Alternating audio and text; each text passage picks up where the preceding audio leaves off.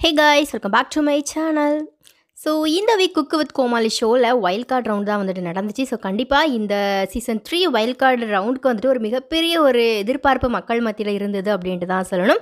And அதே போல் கண்டிப்பாக எந்த ஷோவாக இருந்தாலும் சரி அண்ட் இதோட வைல்ட் கார்டாக இருக்கட்டும் எந்த ரவுண்டாக இருக்கட்டும் மக்களே பார்த்தீங்கன்னா இவங்களுடைய வெற்றியாளர் வந்துட்டு ஓரளவுக்கு கணிச்சிருவாங்க.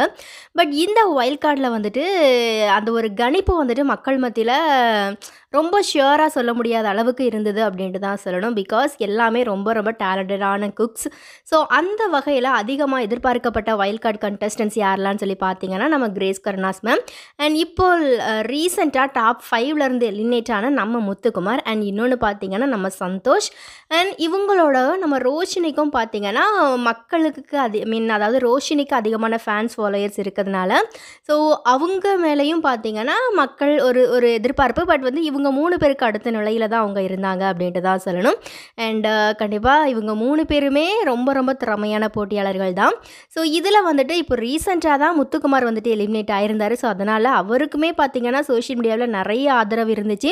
கண்டிப்பாக வந்துட்டு இவர் வந்துட்டு ஃபைனலிஸ்ட்டுக்கு வந்துட்டு டிசர்வ் தான். ஸோ அதனால் கண்டிப்பாக இவர் தேர்வாகட்டும் அப்படிங்கிற மாதிரியா முத்துக்குமாருக்கு வந்துட்டு நிறைய பேர் சப்போர்ட் பண்ணுறத பார்க்கும்போதே உண்மையிலே ரொம்ப ஆச்சரியமாக இருந்துச்சு.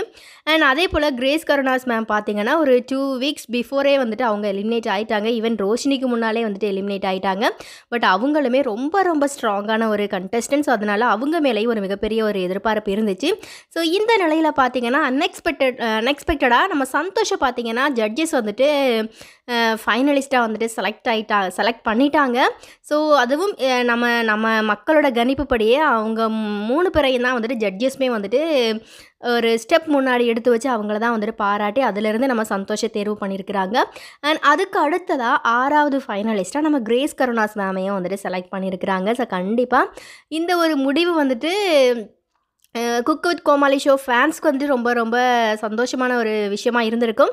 ஸோ எனிவே ரொம்ப திறமையான போட்டியாளர் தான் முத்துக்குமார். ஸோ அவர் வந்துட்டு அன்எக்ஸ்பெக்டட்லி எலிமினேட் ஆகிட்டாரு ஸோ வைல்ட் கார்டு மூலியமாக ஃபைனல்ஸ்க்கு போன நம்ம சந்தோஷ் அண்ட் கிரேஸ் கருணாஸ் மேம்க்கு வந்துட்டு நம்மளுடைய வாழ்த்துக்களை வந்துட்டு சொல்லிக்கலாம்.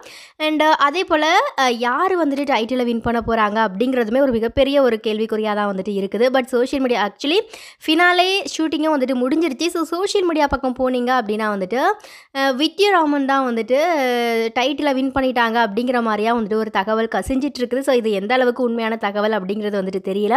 ஸோ இந்த சீசன் த்ரீயோட டைட்டில் வின்னர் யாராக இருக்கணும் அப்படிங்கிற உங்களுடைய கருத்துக்களை மறக்காமல் கமெண்ட்டில் சொல்லுங்கள் அதே போல் யார் உண்மையிலேயே இந்த டைட்டிலுக்கு டிசர்வ் அப்படிங்கிறதையும் மறக்காமல் கண்டிப்பாக கமெண்ட்டில் சொல்லிட்டு போகும்